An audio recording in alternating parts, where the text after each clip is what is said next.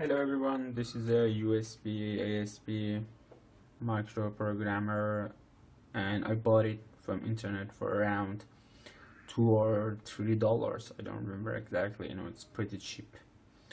And it's as you can see I have connected it to my microcontroller. And after a week of trying to get this thing worked up I couldn't and I faced this error you know. Chip enabled program error you know no matter what I did I couldn't fix this problem. You know I have connected it correctly you know the pins are correctly connected and I'm getting this error. And so today I finally figure out the reason behind it you know. It seems to be related to the speed of the programming you know what we call baud rate.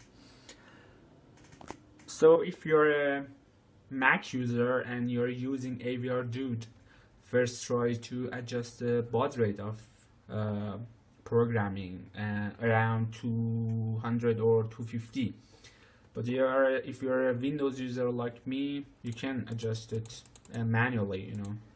When I you just can't place it at the low you know as you can see I still get the same error.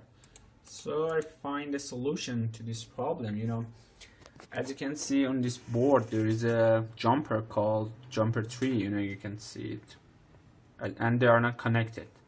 And it seems to be related to the speed of the programming. So just simply grab a piece of wire like this and let me straighten. Right. Just easily simply connect them. Connect these two wires Come on. Alright, almost there. Uh, know. Oh, alright. They are connected right now. As you can see, I have connected these two jumper together. And as you can see, it's connected to a ATmega8 microchip. And as you can see, when I, I try to erase my chip, works perfectly. You know, as you can see. I don't get any error.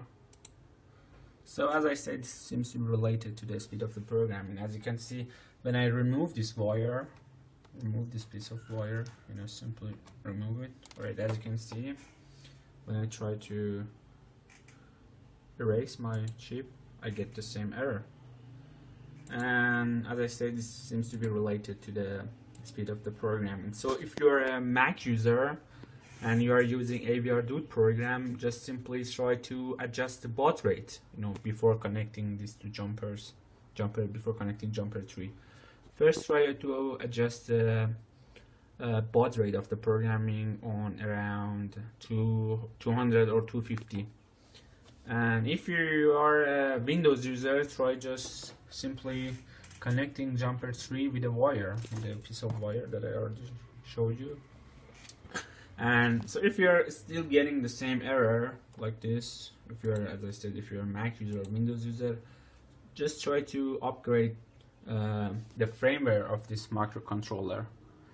I forgot to mention I today uh, this morning I already upgraded the firmware of this microcontroller but I don't think that that was the problem because as you can see with the updated firmware I still get the same error and as I said it seems to be related to the speed of the program. So if you already did uh, adjust the baud rate or connect these two jumpers and you're still facing the problem so uh, update the firmware of this uh, AVR programmer. As I said I didn't say you can uh, manually update the firmware of this programmer. I'm going to leave the necessary link to firmware updates in the description below. And I hope this video will help you. And if you guys have any question regarding this issue feel free to ask me on comment section. And thank you everyone